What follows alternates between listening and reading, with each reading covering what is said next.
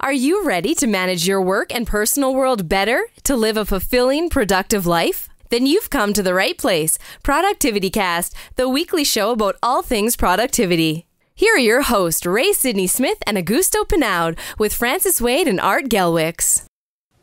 Welcome back to Productivity Cast, the weekly show about all things personal productivity. I'm Ray Sidney Smith. I'm Augusto Pinaud. I'm Francis Wade. I'm Art Gelwicks. Welcome, gentlemen, and welcome to our listeners to another action packed episode. Today, we are going to be talking about uh, an interesting psychological construct, uh, which is optimism and pessimism, or two constructs. And the idea here is for us to talk about optimism and pessimism as it relates to our own personal productivity. When we talk about optimism and pessimism, I think it's good to understand the definition of that. And so that's what we'll do out, out the gate. We'll define optimism and pessimism.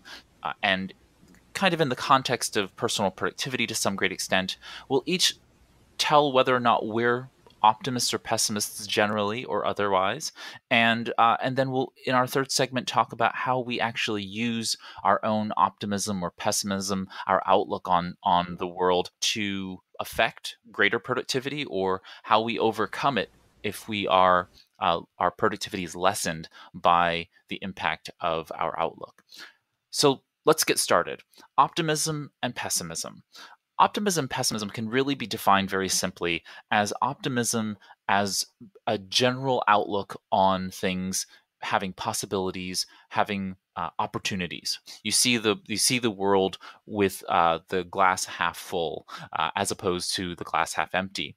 In more of a personal productivity perspective, I see it more as the the fact that in in a moment we define risk differently as optimists than we do as pessimists right we we see the the opportunity of overcoming a risk more likely than not overcoming that risk. And I think that can be actually a very positive thing, right? Studies show that uh, optimists tend to be more successful, happier in relationships, they tend to have less depression, uh, and so just generally healthier uh, people than pessimists. But there are some good positive benefits to pessimism.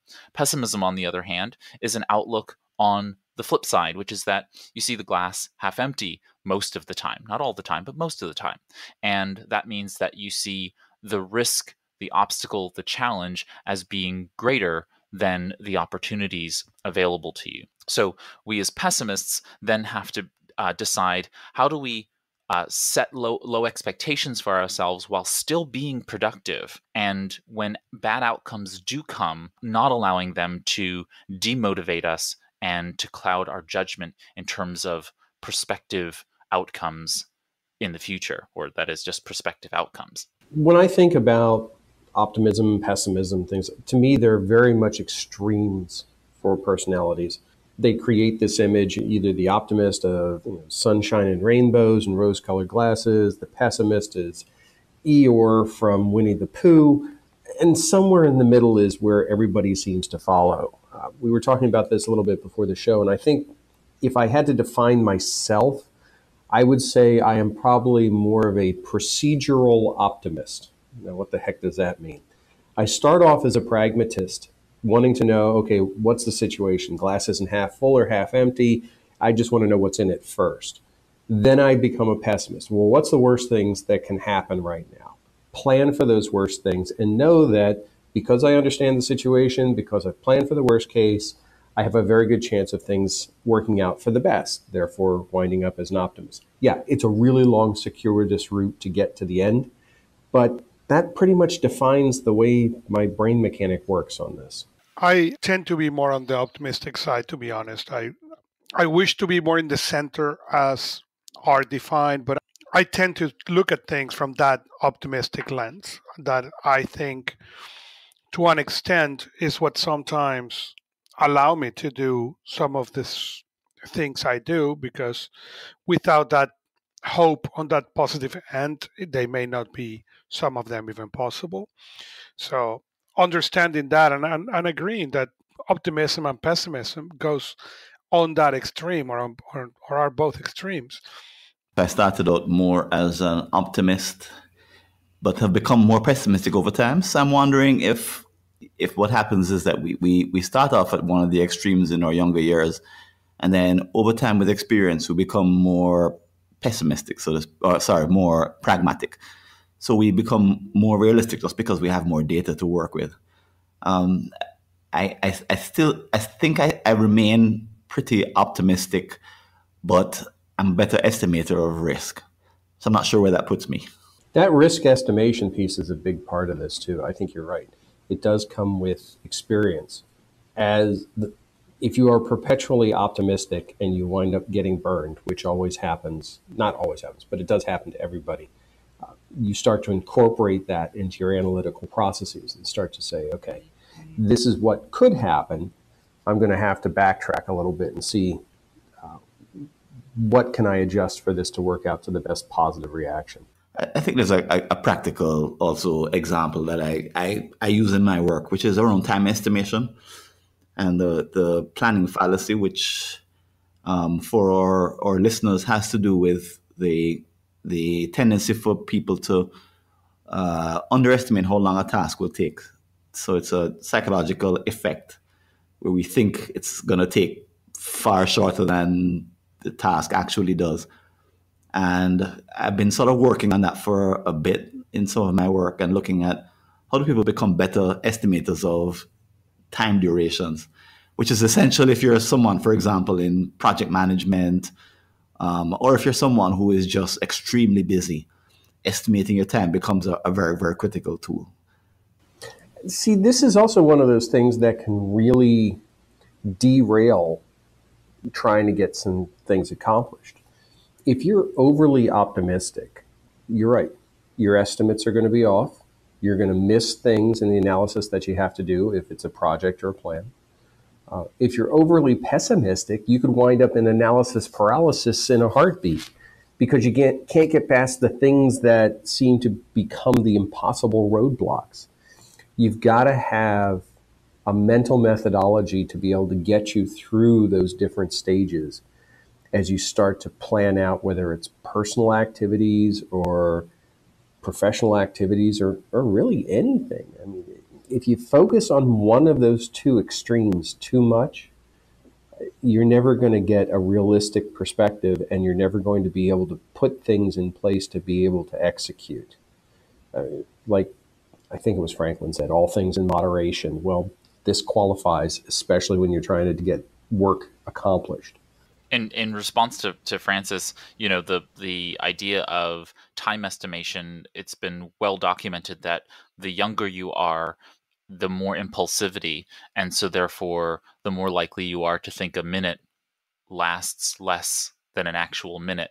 And that the older you get, then the more likely you are to be more accurate about time registration. So taking into account that I think the answer to the question is, is that for those of us who are over the age of 24 and probably under the age of 65 in that in that time frame when we're you know in our in our peak mental health um, and i probably mean that that upper age limit is probably increasing as our longevity and our lifespan increases.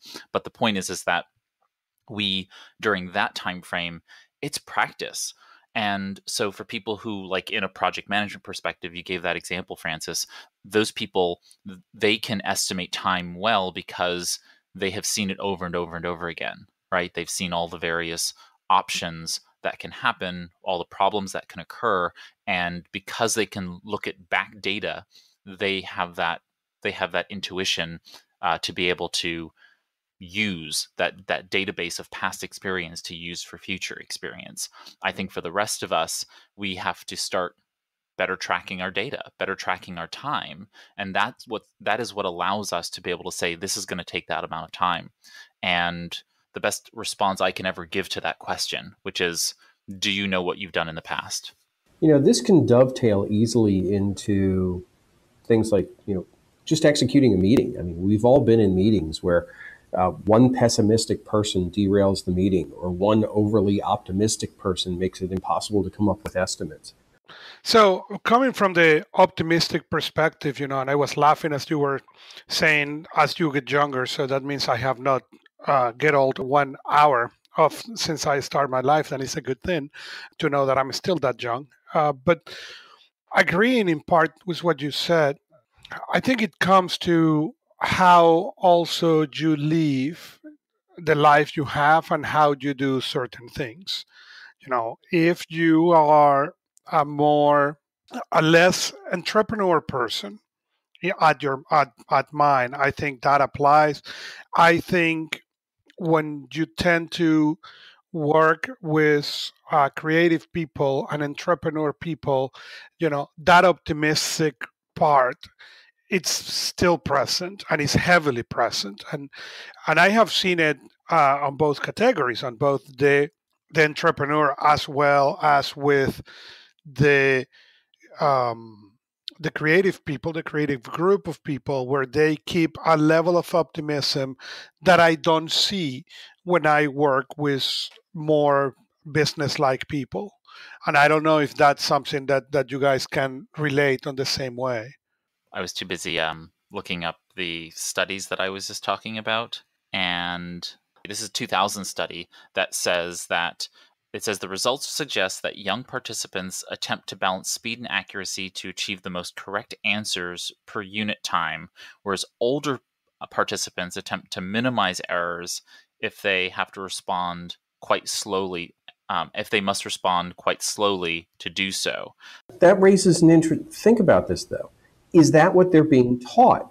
It, not to get totally out of the product, productivity realm here, but at a young age, they're taught to work quickly and work as accurately as possible, but sometimes even faster than accurate. And it's only by making mistakes over time that we start to learn that it's better to not have to do rework. I mean, we start to incorporate in basic lean methodology principles into this. Here becomes the question Are we doing a disservice to younger people by teaching them a skill set that will ultimately not render them completely productive till much later on? I, I, think there I think there is probably a bit of, of education there, and again, this is probably you know also culturally based because you have uh, you have different cultures teaching younger people different things and and different value systems. Which of the three that we've talked about so far, positivity, negativity, and I'm going to use those terms because I, I think pessimism kind of waters it a little bit, or pragmatism, is the most useful mindset to encourage people to have if they want to be at a maximum level of productivity? Where on that scale do we think people should be? Well, I, you know, I'll start off by saying that I think that it is context based. It's contextual, and if you are in a situation where there is immediate risk, immediate potentiality for uh, an obstacle or challenge to be in front of you, then I think that pessimism is helpful immediately, and and then you need to because that's just how your how every brain works, right? When when a when a risk is is presented to us, we immediately go into fight, flight, or freeze response. So the goal for us is to be able to get through that period and and then on to whatever else we need to in order to get that thing done. So when it's when it's when there's an immediate challenge, that's going to happen no matter what. I think it's it's when it's not an immediate risk. It's potentially ambiguous or uh, unknown, but not a, a risk where our biology sometimes can fault us if we're pessimists because we're immediately going to see the dark side of things. In reality, it's still good to be as you said pragmatic or realistic about potential risks, but don't hold that back hold you back from deciding on what the best action is to go forward. Yeah, see, when, when I think about this in the project management space, I mean, when you're doing time estimations on work, you, you look at what's, there's actually a formula, I'm, I'm drawing a blank on it, but there is a formula for doing this, where you're taking the most optimistic estimate, the most pessimistic estimate, and then you factor it by some other factor that I can't remember. But the, it's allowing for both of those situations. Now, again, we're starting to talk about something that's very mechanical and very formulaic. People don't operate that way. People swing to those sides. And for some reason, it jumps into my mind that there was a movie out a while ago called World War Z that Brad Pitt was in. And it talks about a situation called the 10th man. And the 10th man is, is that if you have a group of 10 people and nine of them all 100% agree, it is the obligation of one person to take the opposite position to make sure nothing's missed. And I think when, if we boil that back into our own just basic productivity, and we look at the things that we're assessing, it obligates us to take that role of the 10th man against ourselves with everything we evaluate and everything we're planning out. So if I'm planning on taking a trip out to visit my daughter at college, I need to be prepared about what possibly could go, go wrong and make sure I have those things covered, not assuming it will go wrong, but I have to take that 10th man position to be able to have an optimistic outlook ultimately that the trip will be successful. And I think we have to do the same thing with projects, with task lists, whatever we're planning out. If you have taken the worst case scenario, addressed it, and feel comfortable that you are prepared in handling what comes across, then you can take an optimistic stance because you are better prepared. And that's what I think not only young people, but people our age, anyone, needs to learn that mechanism. If they get tripped up too much on one side of the extreme or the other, they're never going to be operating at a level of productivity that they will ultimately be happy with.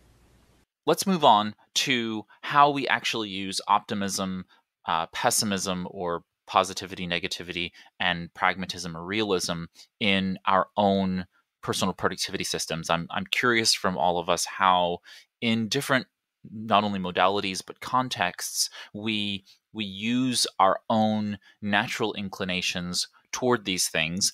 It, do you feel like you're more optimistic or pessimistic? So let's start there, and then let's give maybe a few examples from our own personal productivity systems as to how we use that. I think optimism and pessimism are more sort of rear view judgments. That they're they're useful as you look backwards, but I don't think they help much in terms of looking forwards. Um, what I mean by that, but I think they're more explanatory in the sense that you can look back and in retrospect say, "Oh, look, I was very optimistic," "Oh, look, I was very pessimistic," and that speaks to some kind of emotional state. But going forward, I don't select a, an emotional state and say I'm going to be optimistic emotionally or I'm going to be pessimistic emotionally. I don't think that's useful.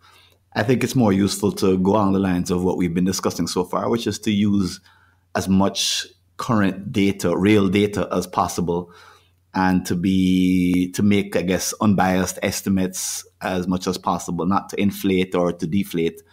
So there's sort of the mechanical sort of aspect of it that Art talked about uh, that makes you very pragmatic going forward. So I think optimism and pessimism are they're psychological states. They're they're not. I don't use them. I should say for myself. I don't use them operationally going forward. Now I may yeah, I may pick an estimate and I may say what's on the high end of that estimate, what's on the low end, but I, I I wouldn't go the next step and then say that's an optimistic estimate, that's a pessimistic estimate. I think that kind of language is best reserved for psychological feelings and states um, rather than for the kind of mechanical cold analysis you need to do about stuff going forward. So that's my take. Well, I don't know because depending on the kind of project, and, and I go back to, to what you do, you do for a living, you know, you will tend to look more in detail to this pessimistic or optimistic approach. If you you know again when you deal with entrepreneurs and you deal with artists and you tend to have you know the way they can go through the motions of the day to day is through this optimistics yes the last seven months has been terrible but this is the moment that things are going to change you know i was on a meeting over the weekend small business entrepreneur at the end of the day who has been seven years in the Reds. Okay. And They have not changed anything on their methodology. They are not going to change anything on the methodology, but this is a year that is going to everything is going to change, and they're not going to have they're not going to be anymore in the red. Okay, and I think it's exactly that attitude, regardless if it's realistic or not, that it's has made them push for seven years in a row because if you see it from the outside perspective, from the cold perspective, you will say, please pack your stuff and go. But when you look at it from the other perspective, is when people see, okay, let me push because this this is maybe the time that things are going to change. So, well, while a pessimist person will have looked at that same opportunity, okay, and said, you know what, no, I will not even try because there is no way I will be able to make a living out of this. Um, on the other side, when you go to software, as Art was using as an example, then that pessimistic person is awesome to have on the team because that person will find everything that is going to make this piece of software or project to fail that the optimistic guy will then look at the project and say, "Oh, it's going to be perfect." You know, that first round of code is going to work, and he have is going to be bug free. Okay, so I think the where you need the three, the, the pragmatic, the optimistic, and the pessimistic, it will depend on that specific project. The problem is, as human beings, we tend to believe more on one of them than the other, and what we need to figure it out is what are we doing and how this is helping us move forward or not is, is, I think I think we're getting into the sort of the naming of behavior, and it's a bit of a challenge because if you think of politics, and I, saw some, I saw I just read an article on sort of conservative thinking in the U.S. and conservative thinking in the U.S. politically is not the same as conservative thinking in other parts of the world around topics like gun control, for example where conservatives typically take the opposite tack that they do in the US.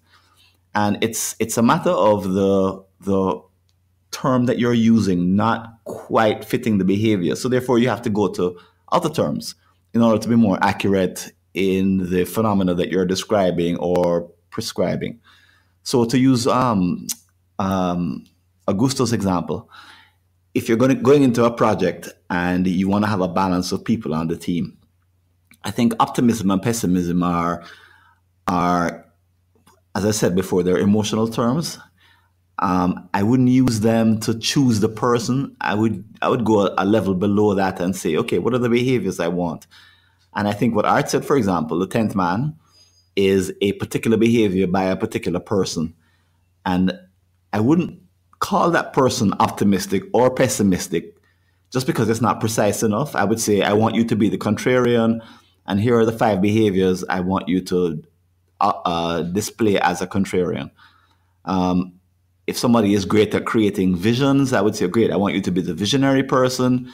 Uh, the reason I'm, I'm straying, I'm, I'm sort of encouraging and straying away from the use of optimism and pessimism is because they're very sort of high level, um, big bucket terms. And especially when you're planning a project going forward, I think it helps to be sort of ultra specific, like visionary and tenth man, um, because it's easier to plan using specific behaviors um, as you go forward. So, Francis, what you're talking about is actually the use of something like Six Thinking Hats by Edward de Bono. Is that what I'm I'm hearing? Um, I wish I could say yeah, but I don't know what that is. so so I, am going to say I'm going to say yes in the sense that to, so to give kind of a, a basic understanding for listeners, uh, Six Thinking Hats uses a series of colors to identify uh, thinking roles that uh, Dr. De Bono has identified for us all, and there are six different colors which match to six different emotional or kind of lenses through which you see the world whether that be optimistic negative uh, you know analytical and otherwise decision making and so on and so forth and so i i think that that attitude and productivity really does make a huge difference. So I would I would highly recommend people look at Six Thinking Hats by Dr. Edward de Bono and and also there is a, a fantastic book called the Positive Power of Negative Thinking by uh, Dr. Julie Norem.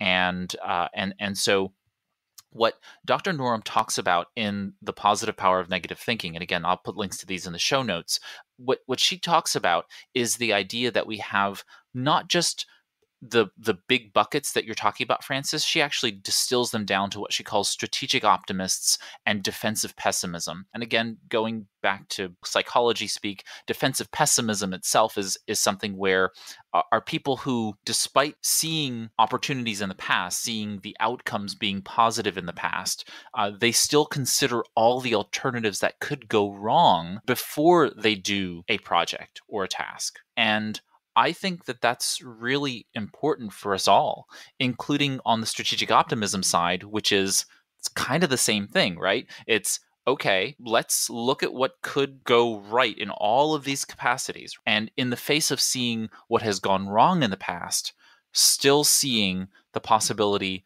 for opportunity and good outcomes to happen in the future as strategic optimists. I, I think that no matter which side of the coin you land on, you need to be able to take the the other view just ever so slightly at the beginning in order to to have a productive outcome.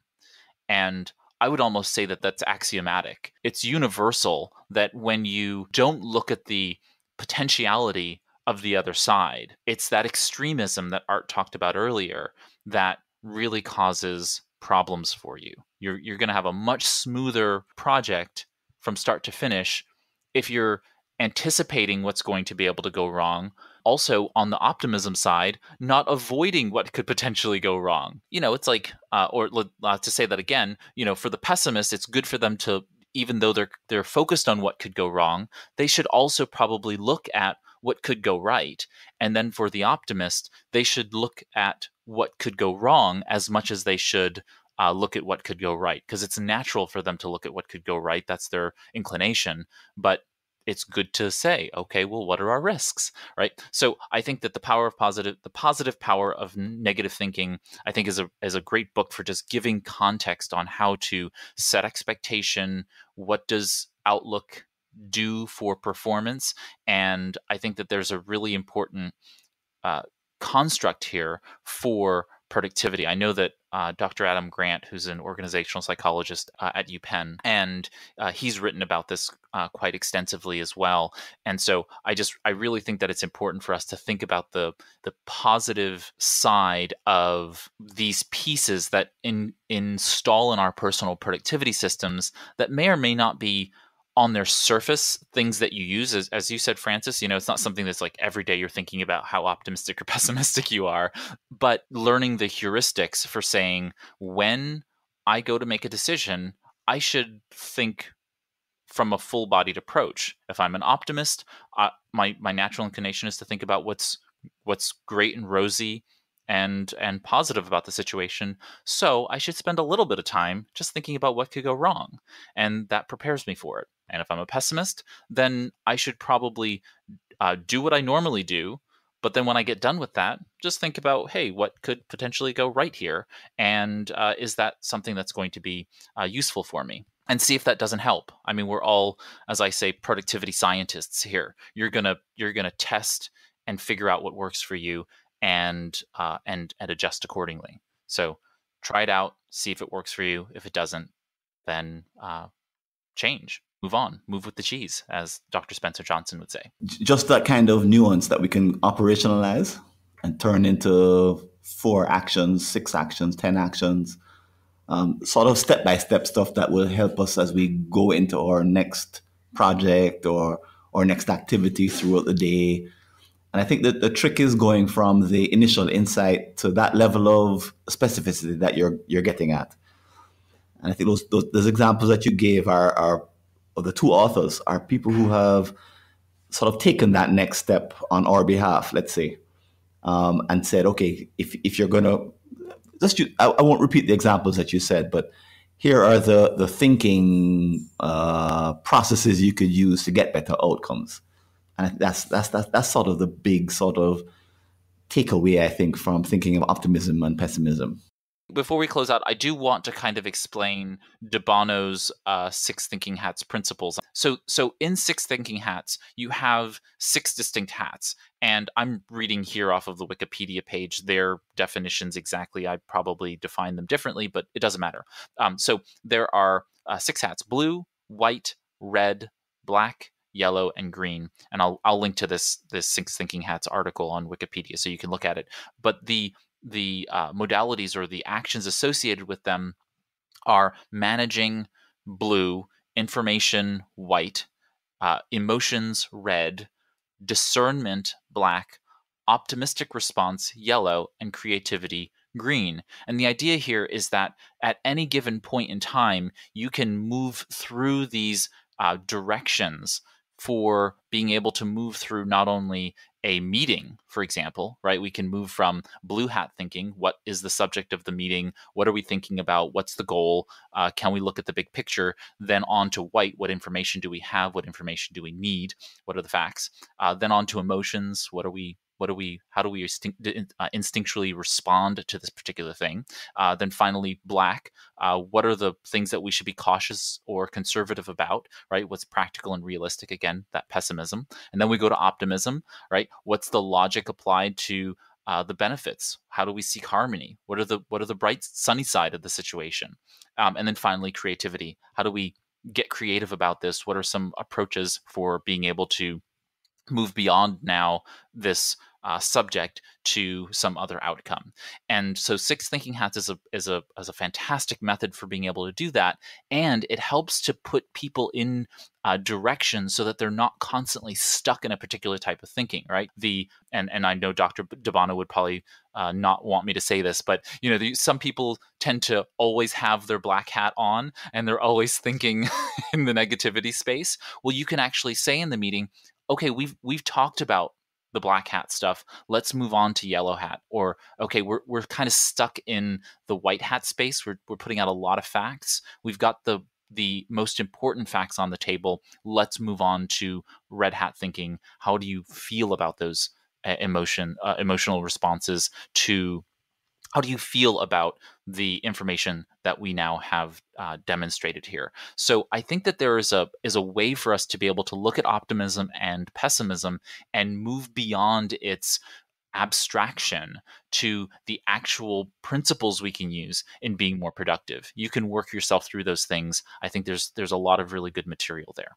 So this closes out this episode of Productivity Cast. And so, do you have a question or comment about this cast or something that we discussed? If you're listening from anywhere other than the podcast website, that is a podcast app or somewhere else, maybe you're in your car, uh, we invite you to jump over to productivitycast.net and go ahead and find there at the bottom of the page a, a little comment space where you can leave a comment or question, and one of us will be glad to respond.